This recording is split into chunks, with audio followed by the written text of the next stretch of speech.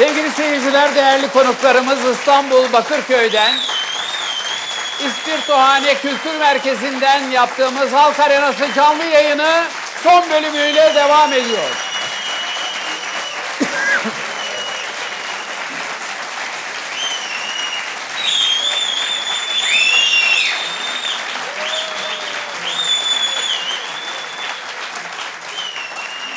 Evet, Türkiye'nin gündemindeki bütün önemli konuları e, tüm çıplaklığıyla, açıklığıyla konuşuyoruz. Sansürsüz bir yayın gerçekleştiriyoruz. Sansürsüz vurgulamasını yapmayı sevmiyorum. Ama neylersiniz ki yani buna IŞİD mi denecek terör örgütü yoksa DAEŞ mi denilecek konusunda bile haber kanallarının Evet. e, bağımsız olmadıklarını düşünüyorum. Aynen. Yani spikerin ağzından Evet. IŞİD sözcüğü kaçtığı anda düzeltiyor. Evet. E, pardon DAEŞ e, diyor. Bu kadar. İşte AK Parti, AKP gibi. Ayrıca Evet, bir türlü an- evet. bir türlü adını da koyamadılar. Kimi DAEŞ diyor, kimi DEAŞ diyor. E, e, denilebilir, denilebilir. Böyle Işıkta da öyle. hatalar Işık var, yapılabilir. var. Çünkü çünkü otosansür başladığında Aynen. insan ne söyleyeceğini şaşırabilir. Ama e, sevgili Uğur Bey biz de otosansür yapıyoruz. Bir bakan diyoruz. Murat bir şey söylüyordu Murat.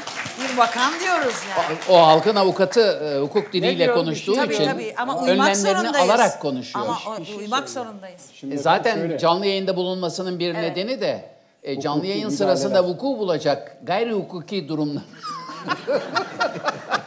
bir şekilde Şimdi- telafi etmek. Şimdi bu e, hukuki durumlara müdahale etmek için falan öyle bir görevim varmış. E, Yok canım şaka şaka. Yok, Yalnız ben bir şey söyleyeyim mi? Kelim Meryem olsa başına sürer. Ben daha ne diyeceğimi kendim bilemiyorum. Şurada bir Dışişleri Bakanı dedim 50 kere döndüm. Yalnız e, mesaj geldi. Metnin tam hali geldi. Dışişleri Bakanı'nın AP'de yaptığı konuşmanın. Hakikaten eşiyle arasında geçen bir münakaşa olmuş. Sen niye İdam konusu mu? İdam idam evet evet. Ee, 12'sinde ayın 12'sinde yapmış o konuşmayı. O kesin bilgi. Evet. Şey Yani değil, artık Nijerya- değil bizim Nijerya Dışişleri değil, bizim Bakanımız. Dışişleri yani Bakanı. kesinleşti o bilgi. Yani Bir bakan değil yani. Bir bakan değil bizim Dışişleri. Dışişleri. yani bu kellikle kellikle Meryem hikayesi Sizi kastetmedim. Hocam biliyorsunuz ben ısırırım. Elinizi çok fazla yakında tutmayın. Evet. Bir de şu- Sayın e, Minik Mine Kırıkkanat'ın sözünü kesmeyelim lütfen. Riskli mi? Merak Ee, etmeyin zaten sevgili Uğur Bey kesemezler. Şimdi efendim size yönelteceğim e, Buyurun. soru taktığı püsküllü fesiyle tanınan Kadir Mısıroğlu Kurtuluş Savaşı'nda keşke Yunan kazansaydı da hilafet devam etseydi, saltanat devam etseydi yollu bir konuşma yaptı ve böylece milli mücadele şehitlerinin başta Büyük Önder Atatürk olmak üzere bu cumhuriyeti kuran bütün kahramanların kemiklerini bir kez daha sızlattı. Babası Yunan mıymış onun acaba? Şimdi yurdunun, Bu kadar ahlaksız olunmazdı. Yurdunun- Yunan babayla. yurdunun Yunanlarca işgal edilmesinden memnuniyet duymayı nasıl bir ruh hali olarak değerlendireceksiniz? E, şimdi yani bu konuda Atatürk'ten daha doğru bir şey söyleyebilmemize imkan yok.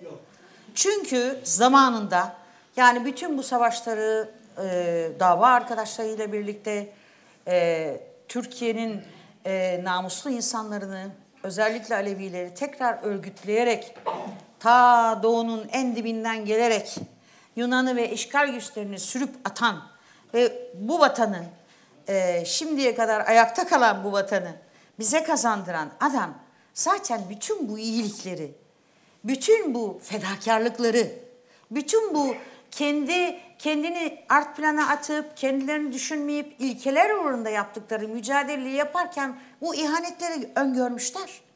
Atatürk'ün sözleri var. Diyor ki bir bir, bir, süre sonra e, içinizdeki düşmanların dış düşmanlardan yani tercümesini söylüyorum. O çok edebi, çok güzel sözlerin, çok duyduğunuz sözlerin tercümesini söylüyorum. Benim çıkardığım anlam bu. Bir süre sonra diyor, e, bütün bu hıyaneti, delaleti siz kendi içinizdeki düşmanlardan göreceksiniz. Kaleleriniz yıkılacak. Burçlarınız alınacak ve bunu eee, tamamen ortadan kaldırmak isteyecekler sizin kazanımlarınızı diyor.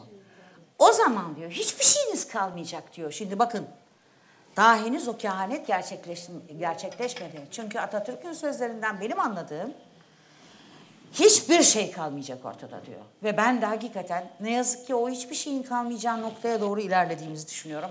İşte o zaman diyor gerek duyduğun güç damarlarındaki asil kanda mevcuttur.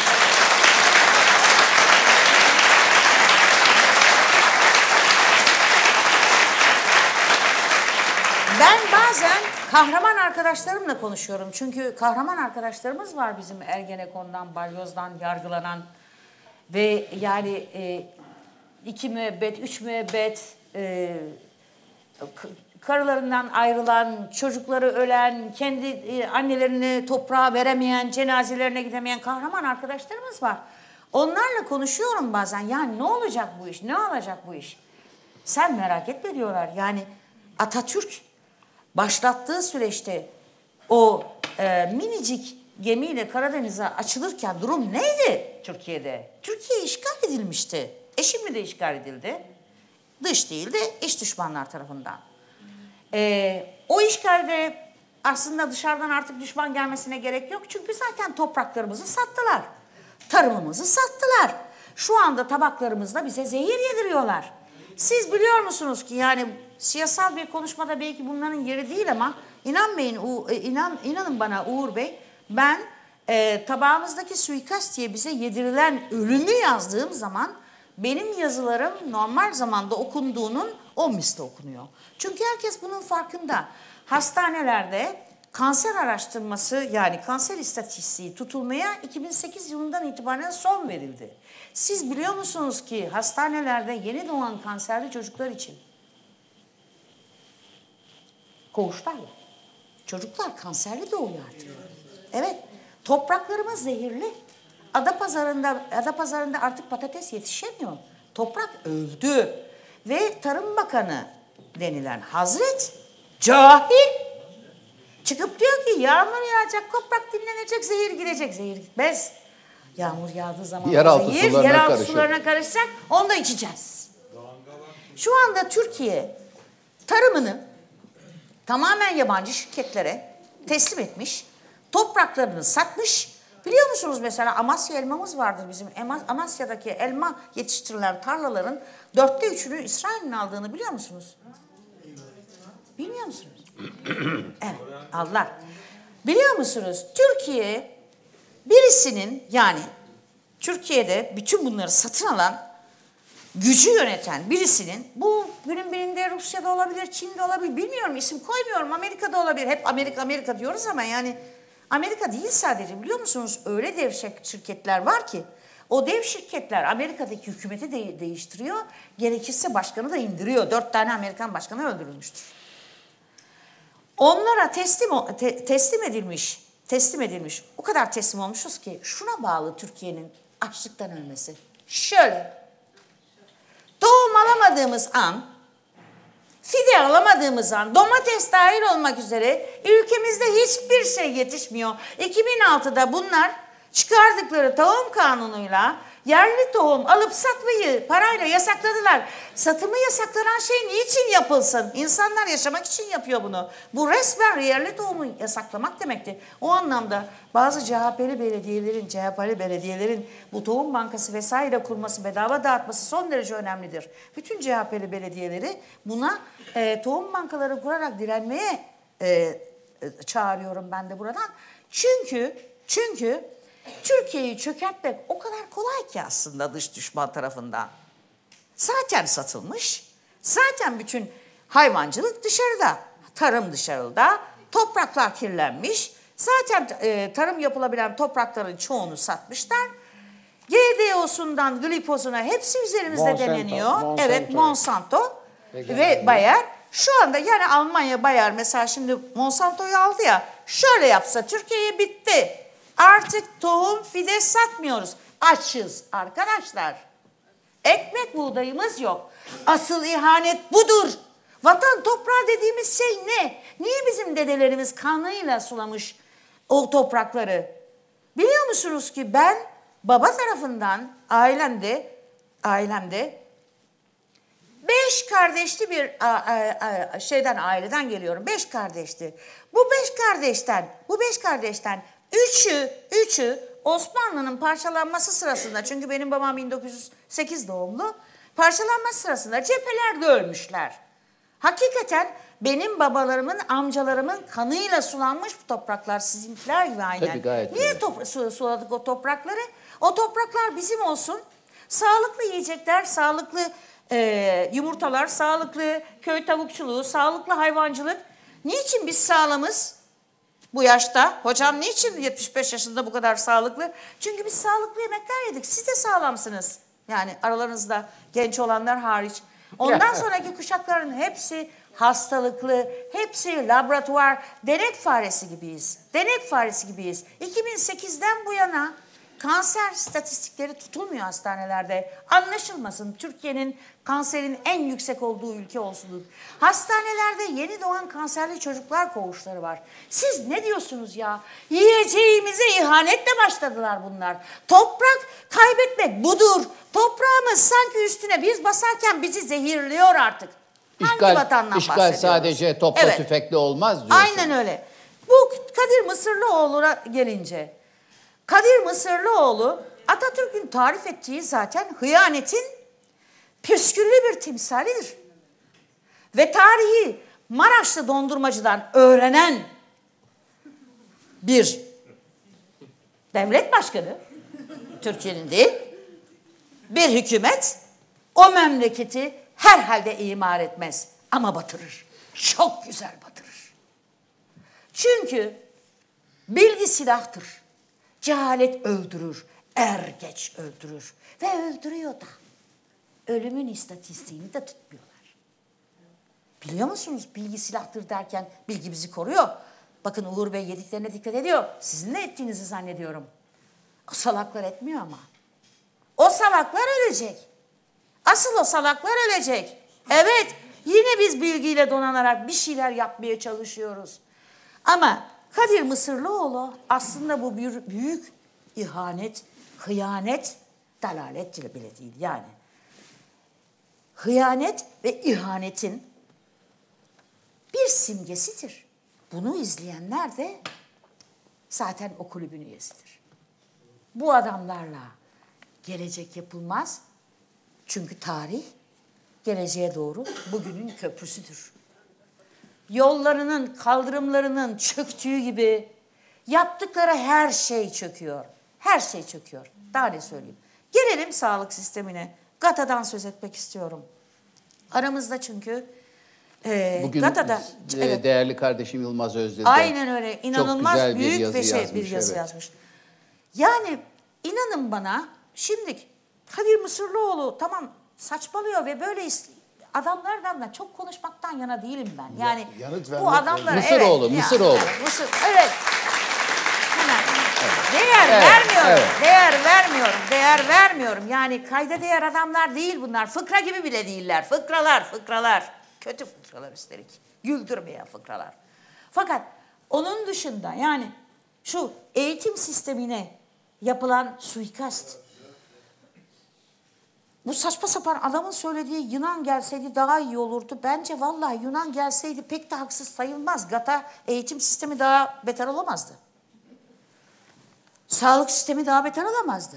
Yani GATA'ya düşman bu Ama o sağlık sistemi için falan istemiyor. O şeriat için istiyor. tabii şeriat için istiyor.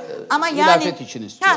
Ama yani hakikaten çok da haksız sayılmaz. Hani e, yanlış saatte işte e, arızalı saatte günde bir kere doğruyu gösterir ya. Yunan gelseydi, Fransız gelseydi, İngiliz gelseydi yemin ederim ne eğitimim böyle olurdu ne de şey bunlar daha beterini yapıyorlar. Daha beter. Acaba şunu mu söylemek istiyor? Biz çok e, kötü yaptık. Düşman gelseydi bizden daha iyisini mi yapardı demek istiyorlar yani. Ancak bunu söylüyor olabilirler. Bunu söylüyor olabilirler.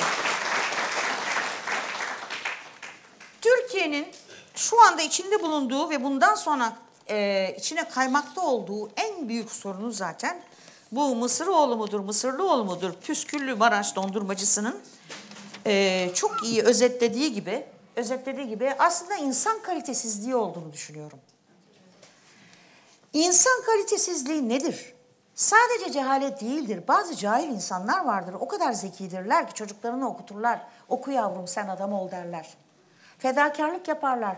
Ee, saçlarını süpürge ederler. Giderler olmadık işlerde çalışırlar. Okuyamamışlardır. Onlar da cahildir. Ama doğrunun nerede olduğunu insiyaki olarak, içgüdüsel olarak bir de halkın sağduyusu vardır. Görürler. Şu anda içinde bulunduğumuz insan kalitesizliği ahlaksızlıktan kaynaklanıyor. Ahlaksızlığın bu kadar yaygın olduğu hiçbir dönem olmadı Türkiye'de. Yani ailelerin çocuklarının kanını paraya satması, şeriat hukukunda olduğu gibi davalardan vazgeçmesi, bunca büyük tecavüz olayları, Ensar Vakfı da yapılan güzel şeylerin artık konuşulamaması. Anlatabiliyor muyum? Ahlaksızlık o, da, o kadar yaygın, ya, rüşvet, çürümüşlük, yozluk o kadar yaygın ki bu insan kalitesiyle artık bir yere varabilmenin yani Atatürk'ün belki de e, Atatürk zamanında çok daha beterdi ama belki o zaman bu kadar çok ahlaksız insan yoktu Anadolu'da ve şeyde Trakya'da anlatabiliyor muyum? Ahlaklıların sayısı daha fazlaydı. Ben Türkiye'de hala daha namuslu insan daha çok olduğuna, olduğuna inanıyorum. Ama önümüzdeki süreç ve akıbetimiz şuna bağlı. Acaba namuslular daha mı çok ve kimler kazanacak? Ahlaksızlar mı kazanacak, namuslular mı kazanacak? Umarım namuslular kazanır. Çünkü size güveniyorum. Çünkü burada toplanan bütün insanların yüzünde dünya vatandaşı olabilecek düzeyde bir çağdaş insanlar görüyorum. Ama Türkiye sadece bu değil. Her şey paraya endeksli ve yapmayacakları melanet, kötülük kalmadı. Dolayısıyla tepeden tırnağa bir ahlaksızlık, namussuzluk şey içerisindeyiz. Bunu konuştuğum zaman bana diyorlar ki sen çok tutucu oldun. Tutuculuk değil. Etik, ahlak denilen bir şey var ve bunun dinle ilgisi olmadığı aslında aile terbiyesinden okulda öğrenilen değerlere kadar eğitimle bir ahlak edinildiği çok belli. Çünkü Türkiye hiç bu kadar dini eğitim almamıştı ama ahlaksızlık da hiç bu kadar yüksek olmamıştı. Teşekkürler. Ee, Sayın Türker Ertürk, Şimdi Maraş dondurması hakkında sizin bir şey. ben, yani esasında verilebilecek e, cevabı Sayın Kırıkkanat verdi. Esasında fazla da bunu bu değerli toplantının ve sununun e, malzemesini yapmamak lazım. E, Gerçekten kayda değer bir insan değil, çağdaş düşünceye gelmemiş. E, bizim konumuz bence olmamalı diye düşünüyorum. Bir kere Atatürk çok önemli. Atatürk herhangi birisi değil. Bakınız bunlar Atatürk'e düşman olurken yurdu kurtaran asker, başkomutan Atatürk'e düşman değiller. Esas Atatürk'ün fikirlerine, çağdaşlığına düşmanlar. Bakınız size şöyle söyleyeyim. Hani bugün Avrupa zengin ya ya da çağdaş dünya zengin ya. Bu zenginliğin bir arka planı var. Yani orta çağda örneğin Avrupa'da da e, ahlakın temel değeri kadının cinsiyeti üzerine inşa ediliyordu. Ama işte ne bileyim belki 15. yüzyıldan başlayarak 18. yüzyıla kadar o geçen evrelerde işte biliyorsunuz Rönesans'tı, reformdu, aydınlanma, hümanizma, Fransız devrimi artık dünya çağdaş düşünmeye geçti. Şimdi Atatürk esasında bu merhaleyi atlamış Osmanlı toplumuna veya Osmanlı parçalandıktan sonra Anadolu üzerindeki Türkiye Cumhuriyeti'ne yaptırma projesiydi. Esasında bunlar buna karşı. Bakınız bütün çağdaş ülkelere, zengin ülkelere bakın. Hiçbir ülkede yaşamın referansı din değildir. Dünyevi yaşamın referansı din değildir. Ne bileyim ahlakın temel değerleri kadının cinsiyeti üzerine inşa edilmez. Ama işte geri toplumlarda, çağdaş olmayan toplumlarda ne bileyim kadının şu diz kapağının şurası gözüktü mü, kolu Eyvah. gözüktü mü ahlaksızlığa girer. Bakınız eğer ahlakın temel değeri kadının cinsiyeti ise, cinselliği ise orada ahlaksızlığın büyüklüğü vardır. Bakınız çağdaş dünyada sahte imza atmak, kamu malını götürmek, ihalelerden Zerdari 10% alıyormuş. Bizimkiler diyorlar ki 20%. bakın, bakın ahlaksızlık bu. Ama eğer ahlakı kadının cinsiyeti üzerine inşa ederseniz orada ahlaksızlık olur. Şimdi Atatürk aynı zamanda üretebilmek demektir. Bilim mi? Bilim demektir. Bakınız sorun ne biliyor musunuz? Akıl egemen, bilim egemen kafalı, eleştirel akla sahip toplumu yaratacaksın. Eğer o toplumu yaratamazsan olmaz. Atatürk devrimleri esasında bunu yapmaya çalışmış. Şimdi eğitimden şikayetçiyiz değil mi? Eğitimde bakınız Fethullah Gülen de eğitim veriyordu. Ama hangi eğitim? Çağdaş eğitim. Özellikle İslam ülkesinde yaşıyorsan laik olmak zorunda. Dünyevi yaşamın referansı bir kere din olmayacak. Hiçbir sonucul yok. Bakınız hiçbir sonucul yok. Gözlem ve deneye dayanacaksın. Tamam mı? Ve tüme varımcı. Şimdi her tarafı imam hatip yapalım. Bir kere küçük yaştan itibaren. Tabii ki dinimize saygılıyız. Dinimiz var olmalı ama eğer küçük yaştan itibaren, mini mini yaştan itibaren din eğitimi verirsen nedir o? Hani imam hatipleri bir sonucu var, savunucu o. Spekülatif. Şimdi bize neye ihtiyacımız var?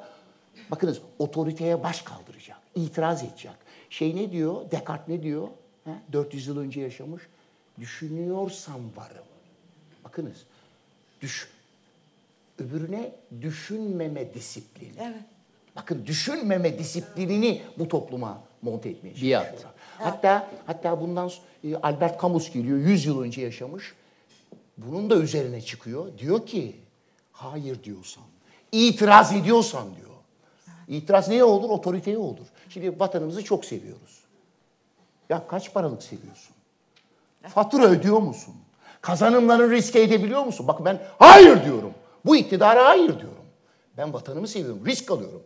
Ülkede demokrasi yok, ülkede hukuk yok. Buradan çıktıktan sonra bizi alır götürürler. Doğru. Bak ama ben ülkemi sevdiğim için bunu söyleme cesaretini gösteriyorum. Efendime söyleyeyim darbe. Şimdi bakınız. Bu darbe Cumhuriyet tarihinde hatta Osmanlı tarihinde koyun hiçbir darbeye benzemez.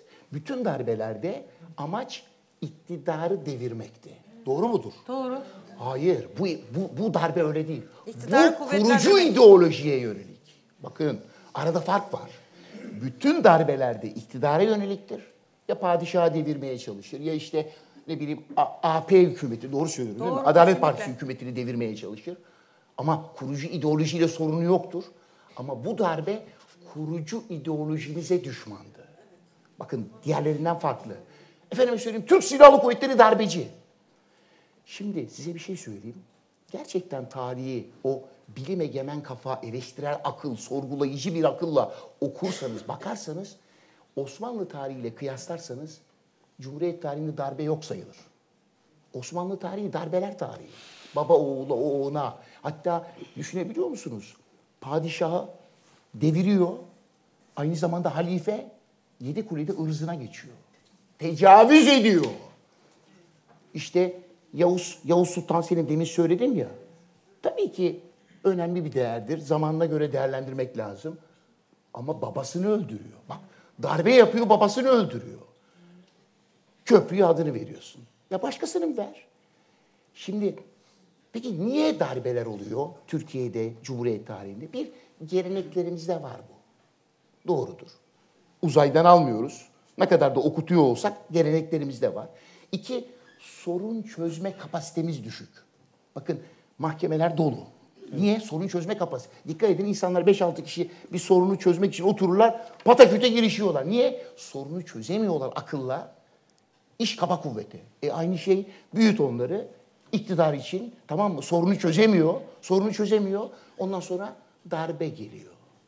Başka ne var? Şimdi sen iktidarı iktidarı tek başına ele geçirmek istiyorsun ve kimseyle paylaşmak istemiyorsun. Bakın anayasa burada. Yetkili organlar eliyle kullanır. Sen yetkili organları bypass etmek istiyorsun. Ben diyorsun tek başına. İngiltere'de e, ne varmış? Demokrasi kültürü varmış. Darbe olmuyor. Ama olmuyor ama Magna Carta 1205 mi? Magna Carta'dan itibaren 1215 düzeltiyoruz. Ee, Magna Carta'dan itibaren adım adım ne yapıyor? İktidar yani kral, kraliçe yetkilerini devrediyor. Yetkileri budanıyor. Tamam mı? Onun için darbeye lüzum yok. Sen şimdi sen şimdi ülkede de facto ne yapıyorsun? Anayasa ihlali yapıyorsun. Bütün yetkileri alıyorsun. Hiçbir kural tanımıyorsun. Ya sen diyorsun ki bana darbe yapın. Bakın şimdi şimdi şöyle. Şimdi mesela Uğur Bey buranın patronu Uğur Bey. Şimdi dedi ki sigara içmek yasak. Sigara içiyor. Ya olabilir mi öyle bir şey? Bana diyor ki sigara içmeyeceksiniz diyor. Kendi sigara içiyor. Şimdi anayasada iktidarın el değiştirmesi belli. Cumhurbaşkanının yetkileri belli, başbakanın yetkileri belli. Sen şimdi bunu çiğniyorsun. Bize hiçbir safety, hiçbir e, ne bileyim e, kontrol mekanizması, bir kurtuluş mekanizması kullan. Diyorsun ki bana darbe yapın. Eğer iktidar demokratik yollarla el değiştirecekse, burada yazdığı gibi, kitapta yazdığı gibi kurucu ideolojimize saygılı olarak önce sen saygı duyacaksın, bizden saygı bekleyeceksin. Onun için bu darbecilik konusunda çok konuşuyorlar. Türk Silahlı Kuvvetleri'nin e, evet geçmişte Cumhuriyet tarihi döneminde e, bazı darbelere karışmıştır. Doğrudur ama bu geleneklerimizden gelmektedir. Osmanlı tarihiyle kıyaslarsak lafı bile olmaz. Ve bu toplumsal bir sorunluğumuz, sorun çözme kabiliyeti. Bakın sorun çözme kabiliyeti bile nedir? Çocuklarımıza küçük yaştan itibaren çağdaş düşünme. Tamam mı? Dini, dini dünyevi yaşamın referansı yapmamak. Akıl, bilim. Bakın hayatta ne diyor? Tek yol gösterici akıl. Şimdi bu darbe konusunda e, hemen alelacele şey topladılar. Diyanet İşleri Başkanlığı e, olağanüstü din şurası sipariş. Baktım ne şeyler olmuş. Palavradan şeyler. Din istismarı yapmış şey. Cemaat. E sen ne yapıyorsun? Kur'an-ı Kerim'i eline almak din istismarı değil mi? Senin ne farkın var? Hatta size şöyle söyleyeyim. Aralarında hiç fark yok. İkisi de siyasal İslamcı. Hatta aramızda kalsın, burada kalsın. Cemaat var ya, eğitim öğretim olarak bunlardan da daha, daha da kaliteli. Tabii. İçinde Kolombiyalısı var, Harvard'lısı var. daha kalitelisi. Şimdi bana şöyle deme, derseniz e, ben de kendimi şöyle savunurum. E, suçluları nasıl siz eğitimli daha kaliteli diyorsunuz? Bakınız işte yanımızda hukukçu var. Suç var, suçlu var, nitelikli suç var değil mi? Şimdi eğitimsizsen, garibansan, parasızsan yolda giderken birisinin kafasına vurursun, cebindeki cüzdanı alırsın. Senin eğitimin bu kadar hırsızlığa müsaade eder. Ama akıllı adam he, bilgisayardan bir bankanın içini ne yapabilir? Boşaltabilir. Yani bakın yine o raporda Uğur Bey var. Raporda diyor ki sahte Mehdi diyor cemaat için. Şey için, e, Fethullah Gülen için. Ben burada ilan ediyorum, Mehdi benim. Niye gülüyorsunuz? Bir dakika, bir dakika. Ama bir dakika, şimdi, şimdi sahte Mehdi'ymiş. Peki kardeşim gerçek Mehdi nasıl oluyor? Ha? Diploması mı var? Ha? Ya da o onun Mehdi olduğuna kim karar Marmara veriyor? Üniversitesi'nden. Diyanet İşleri Başkanlığı mı? İktidar mı? Cumhurbaşkanı mı? Bakınız tek Mehdi var. Akıl ve bilim. Bunu Atatürk ortaya koymuş. Şimdi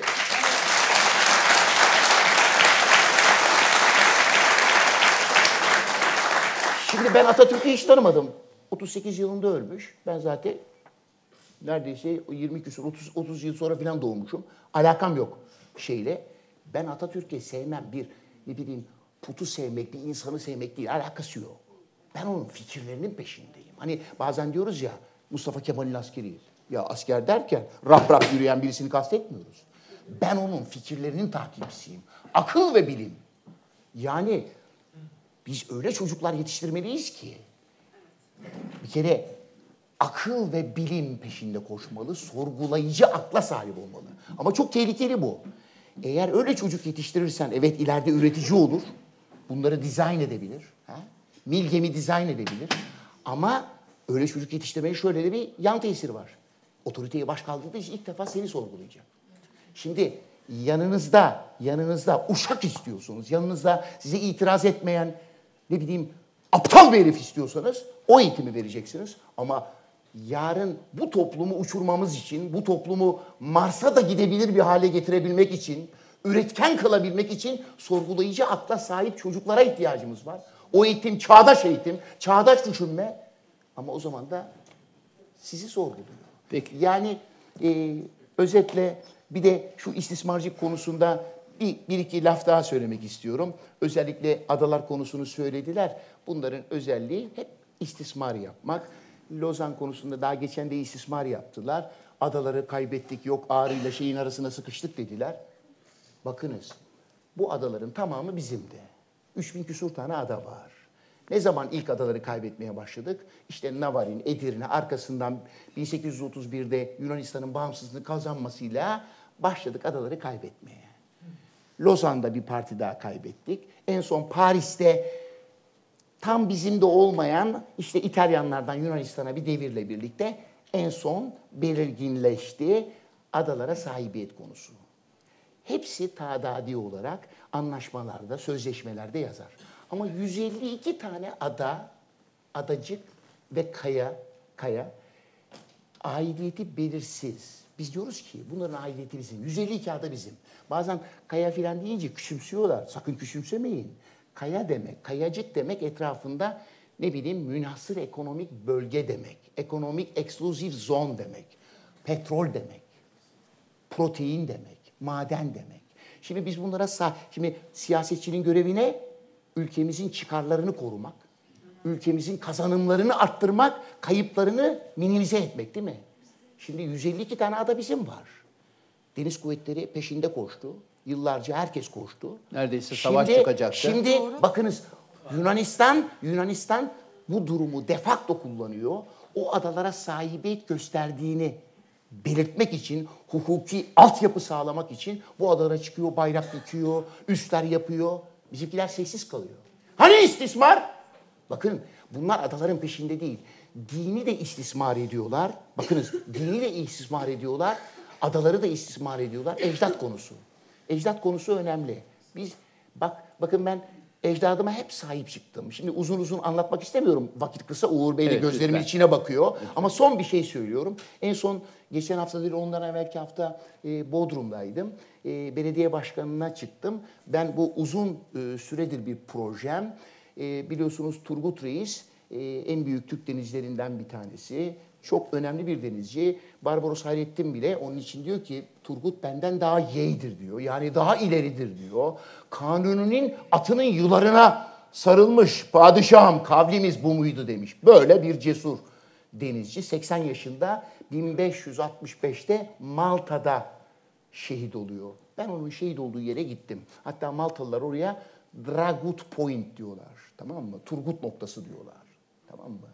Şimdi ben Bodrum, onun doğduğu yer, Slovas, büyüdüğü yer, bir de anadan babadan Türk denizcisidir gerçekten Turgut Reis. Ee, şeyde şehit oluyor, La Valletta'da, Malta'da ve Trablusgarp'ta şu anda şeysi mezarı var. Ben orayı da ziyaret ettim. Diyorum ki Trablusgarp, La Valletta ve Bodrum kardeş şehir olmalı. Ve Dragut Point'e bir e, Turgut Reis heykeli yapmalı. Turgut Reis denize doğru böyle işaret etmeli. Bütün denizciler oradan Ecdada sahip çıkmak budur diyorsunuz. Hatta şöyle peşine düştüm ben bunun. 2004 yılında bunun için Dışişleri Bakanı'na gittim. Hangi Dışişleri Bakanı'na? Malta'nın. Genelkurmay Başkanı'na gittim. La Valletta Belediye Başkanı'na gittim. Bu projemi anlattım. Ondan sonra okey aldım. Türkiye'de anlattım. Büyüklerim yeterince ilgi görmediler. Belki de uçuk proje şey yaptılar. Peki Sayın Amiral, Ama çok şimdi Bodrum teşekkürler. Belediye Başkanı Uğur Bey söz verdi. Bu işin peşinde düşecek. Hükümete İnşallah, diyorum inşallah. ki Hodri Meydan işte bu projenin projenin peşinde. Peki çok teşekkürler. Ben teşekkür ederim. Şimdi halkın avukatı bizim programlarda kameraya bakıyor, parmağını sallayarak bir konuşma yapıyor. Artık bu e, bir alışkanlık haline, programın özelliklerinden biri haline geldi. Acaba bu akşam hangi konuda kameraya bakıp konuşacak ve kimlere parmağını sallayacak? Ee, şimdi önce e, o parmak bu parmak. Bunu niye söyledim? Levent Kırca'ya işte ruhu şad olsun. Onu anmak için söyledim. Alkışlıyoruz. Hatırlıyor musunuz? Levent Kırca bir skecinde darbecileri gösterirken yönetime el koyduk. o el bu el diyordu. O e, siz söyleyince aklıma geldi. Şimdi e, geçen hafta hani bana sosyal medya üzerinden bir takım sataşmalarda bulunan bir şahsa karşı açıklamalarda bulunmuştum. Ee, işte ekranın ne kadar insanı kilolu gösterdiğine dair. Ee, onun devamı geldi hafta içerisinde başka birisinden. Başka bir konuyla ilgili olarak. Ee, bana şey e, demiş kardeşimiz. Önce bir küfür etmiş güzel. Tabi burada söyleyemeyeceğim ben o küfrü. Küfürden sonra da demiş ki e, adam ol boş işlerle uğraşma demiş. Şimdi adam ol boş işlerle uğraşma dediği için ben bu haftaki e, parmak hakkımı ona kullanacağım. Yalnız bu parmak hakkımı kullanmadan önce Kadir Bey ile ilgili söylemek Hangi Kadir Bey? Mı- Dondurmacı. Maraş dondurması. Maraş dondurmacısı. Şey efendim, tarihçi Kadir Bey ya. Püsküllü, püsküllü, püsküllü. Şimdi Püsküllü. Alemsin ha. ya ben ciddi olmaya çalışıyorum, siz ne yapıyorsunuz ya? Şimdi Tarih önünde ciddi olalım lütfen. Çünkü Maraş, Coğrafya dondur olmuyor, Maraş dondurmasının da bir tarihi var. Bir doğru. Şimdi eee ya aslında çok kafa bulurum ben onunla da. Ne olur bulun. Yok yok. Ben ciddi konuşacağım. Ciddi konuşacağım. Çünkü eee, canım sıkıldı o sözleri duyduktan sonra. Eee, ben ilk önce şunu düşündüm. Dedim ki bir insan yani bir işgal kuvveti benim öz vatanımda öz ordularımı yensin diye nasıl ister ya? Yani biz düşman toprakları, düşman çizmeleri altında yani düşünsene bizim vatanımız, namusumuz, ırzımız, toprağımız, kanımız ya Yunan çiğnemiş işte gelmiş Ege'de biliyoruz Kafanız yaşananları. aynı çalışmıyor. Kafanız Şimdi- aynı çalışmıyor. Ee, bunu nasıl söyleyebilir? Ben diyorum ki ya bu nasıl şey yapacak? Yani bir insan bunu nasıl söyleyebilir? Ya bunu sağlıklı bir e, zihnin söylemesi bence mümkün değil. Yani kendi kendime sordum. Yani bunu ben tahkir etmek için, alay etmek için falan söylemiyorum. Bunu niye yapmış olabilir diye düşündüm. Ee, sonra o şeyi izlerken, hani o kafasında sürekli kullandığı o fesi görünce acaba hani bu fes bir numara küçük mü? ya gerçekten ciddi söylüyorum. Yok yok. Fazla mı sıkıyor? Hayır eğer bir Kan mı gitmiyor?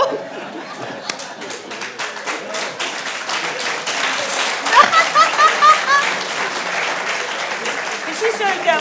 Sesi internetten ısmarlamış olabilir mi? Google'da. Belki çekmiş olabilir. Google'da, Google'da. şimdi efendim Fes çekmiş olabilir. ya Mine Hanım hakikaten ciddi bir şey anlatıyorum ya. Konu müsait değil ciddiyete.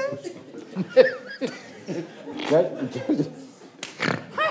Bakın bir hukukçu bir hukukçu hassasiyeti taşıyorum şu an. ona, ona göre lütfen. Ben de sağlık açısından düşünüyorum. Ben diyorum ki yani bu fes eğer Hukukta dondurma hukuku diye bir şey var mı acaba?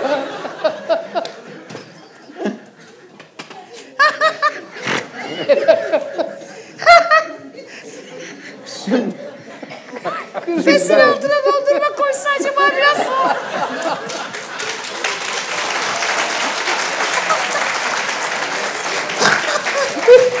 çünkü Feste dondurma. Onun fesini bir çeşit kase değil mi? Kağıt herif. iki arası Kaşıkla böyle çevirip Mine Hanım. püskürü çevirir püskürü. şöyle olabilir bak. İki fes arası dondurma, İçindeki saat dondurmayı dondurma. dökmeden püskürü. Şimdi ben daha ne anlatsam millet dinlemez ki ya. Anlat anlat. Hayır. Ben ne ne söylesem gülecekler şimdi. Şimdi hakikaten ciddi olalım. Ben ben ben şöyle dedim yani ben şöyle düşündüm. Fes eğer küçük geliyorsa ve ağırsa, baskı yapıyorsa, beyne giden Ama hani çanak damarlarda tutuyorsunuz, fes tutuyorsunuz yani. Ya Devam etmeyin. küçük geliyorsa baskı yapıyorsun. Neyse tamam tamam. Ben dedim ki bundan olmuş olabilir mi dedim. Sonra düşündüm ondan olmuş olamaz. Bak vallahi gerçekten ciddi bir şey anlatıyorum. Kesin O- kabahati yok yani. Fes'in hiçbir günahı yok. Niye? Bunlar böyle çünkü. Onun kafasındaki fes değil mesele. Kafasının dışındaki değil, kafasının içindeki. Sorun o. Şimdi ben buradan o e, beyefendiyi ve beyefendiyi takip edip onun söylediklerini ciddiye alıp onun yolundan gidip ona akıl danışan, onu büyük üstad, tarihçi falan diye kabul edenlere ve o beyefendiye şunu söylemek istiyorum. Bir isimden bahsetmek istiyorum. Sırasıyla iki isimden bahsedeceğim. 1919 yılında Kasım ayında 27 Kasım olması lazım tam hatırlamıyorum. 27 Kasım 1919'da Kahramanmaraş'ta Ulu Cami'de imamlık yapan Rıdvan Hoca var. 27 Kasım 1919 günü işgal kuvvetleri Kahramanmaraş Kalesi'ndeki Türk bayrağını indiriyorlar. Tamam. Şimdi sen de dinliyorsundur herhalde. Ben şimdi bu kameraya bakacağım artık. 27 Kasım 1919 günü Kahramanmaraş Kalesi'ndeki Türk bayrağını işgal kuvvetleri indiriyor. Niye indiriyor biliyor musunuz? İşgal kuvvetleri komutanı Maraş'taki Ermeni bir kıza dans edelim diyor. Kız da diyor ki Türk bayrağı kalede olduğu sürece ben seninle dans etmem komutan diyor. Komutan da diyor ki peki sen benimle dans edeceksen ben o bayrağı indiririm. O gün Maraş Kalesi'ndeki Türk bayrağı iniyor ve Cuma günü Ulu Cami'ye Cuma namazı için gelen yerli halka bu Hoca ne diyor biliyor musun? Bak sen de hocayım diyorsun ya ben sana gerçek bir hocadan bahsediyorum. Diyor ki işgal altında olan kalesinde bayrağı dalgalanmayan ülkede cuma namazı kılınmaz.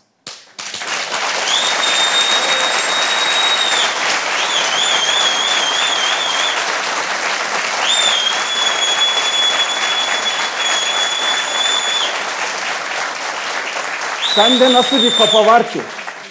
Sende nasıl bir mide var ki? Sende nasıl bir zihniyet var ki? İşgal altındaki ülkede hala namaz kılma derdindesin. O Rıdvan Hoca işgal altındaki ülkede kalesinde bayrağı dalgalanmayan ülkede cuma namazı kılınmaz derken kendi fikrini söylemiyor. Bizim dinimizin temel kuralını söylüyor. Sen daha bizim dinimizin temel kuralını bilmiyorsun da çıkmışsın şeriat halifelik ahkam kesiyorsun. Şimdi ikinci isim. Yüzbaşı Selahattin. Bizim yüz- yüzbaşı Selahattin'in hikayesini genel olarak milletimiz bilir. İlhan Selçuk bunun hatıralarını Yüzbaşı Selahattin'in romanı diye kitaplaştırdı. Evet. Çok güzel bir kitaptır. Şimdi birebir bizim bu arkadaşımızla ilgili bir olaydan bahsediyor. Kurtuluş Savaşı'nın en hızlı günlerinde, en çok kanın döküldüğü günlerde Ankara'ya bir haber geliyor. Deniyor ki çevrede bazı köylerin imamları köyün yerli halkına Yunan bayrağı dağıtıyor. Ve diyorlar ki Yunan ordusu geldiğinde camlardan Yunan bayraklarını çıkartın. Yunan bayraklarını evinize asın ve onlara karşı gelmeyin. Halife Efendimizin, Padişah Efendimizin onlar dostlarıdır. Asıl kafir Kuvayi Milliyecilerdir, Ankara hükümetidir. Yunan ordusuyla birlik olun diyor bu imamlar. Ve bu köyün imamlarının yaptıkları Ankara hükümetinin daha doğrusu milli mücadeleyi veren kuvvetlerin kulağına gidiyor istihbarat olarak. Ankara'dan bir kuvvet gönderiliyor, küçük bir kuvvet. Ve o küçük kuvvet bahsi geçen köylere neler olduğunu araştırmak için uğrayınca gerçekten köylere Yunan bayraklarının dağıtıldığını imamlar tarafından öğreniyor. Ve merkezdeki köyde o akşam bu bayrakları dağıtan çevredeki yanlış hatırlamıyorsam 8 köyün imamını bir toplantıya davet ediyorlar akşama. Bütün imamlar toplanıyor. Yani yüzlerce köyün imamı bu o, İşe teklife katılmıyor, katılmıyorlar. katılmıyor. Onlar milli mücadelenin Bugün olduğu gibi. yanında yer alıyorlar. Bugün olduğu gibi. Bugün olduğu gibi Evet. Yunan askeri başarılısı başarılı olsaydı özlemiyle tutuşanlar nasıl azınlıksa o günde Yunan bayrağını camlarınızdan asın diyen azınlık bir grup. Bir avuç. Bir avuç. Bunları ben Yüzbaşı Selahattin'in hatıratından o vefat ettikten sonra oğlunun eski eşyaların içerisinden çıkarttığı hatıratından aktarıyorum. İlhan Selçuk'un kitaplaştırdığı hatırat bu. Ve bu Yunan sevdalısı, Yunan bayrağı dağıtan şahıslar o Ankara'dan gelen askerlerin içinde Yüzbaşı Selahattin'in de olduğu askerlerin davetini kabul ederek merkezdeki köyde buluşuyorlar, görüşüyorlar, akşama kalınıyor, yemek yeniyor vesaire. Sabah kalkıldığında bizim askerlerimiz Ankara'ya doğru yola çıkmışlar ve köylüler uyandığında köyün meydanına geldiklerinde meydandaki ağaçta o sekiz imamın asılı olduğunu görüyorlar.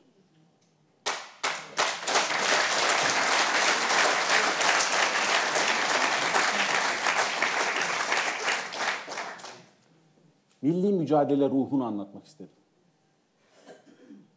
Bu ülkenin nasıl bağımsız olduğunu, kimlerle mücadele edilerek bu bağımsızlığı elde edildiğini anlatmak istedim. Evet, komutanımın dediği gibi son derece önemsiz şahsiyetler tarih sahnesinde. Tarih sahnesinde yani ileriden bugüne bir bakabilsek çok önemsiz olduklarını belki göreceğiz ama bugün için sözlerine itibar edilen ve geniş bir kitleyi etkileme potansiyeli olan insanlar bunlar. Bunların yüzlerine, bunların mazilerini de hatırlatmak lazım. Kullandıkları dini bilmediklerini de yüzlerine vurmak lazım. Ve bu memleketin sahipsiz olmadığını da hatırlatmak lazım. Hocam